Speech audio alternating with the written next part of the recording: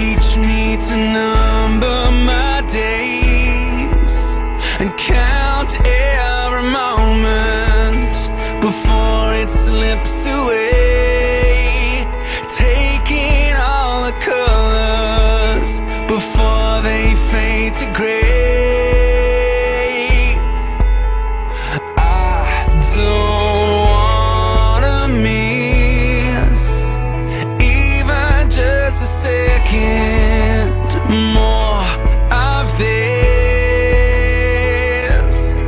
Happens in a blink,